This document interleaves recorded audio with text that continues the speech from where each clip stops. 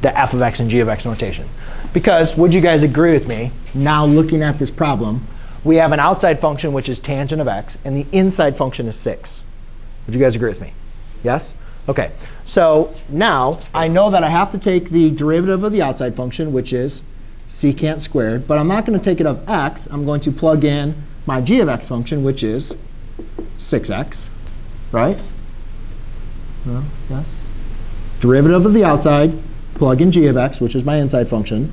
And then I'm going to multiply that by the derivative of the inside function, which is 6, okay, which we would rewrite as um, 6 secant squared of 6x.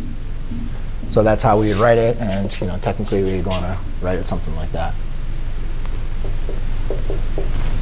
OK? So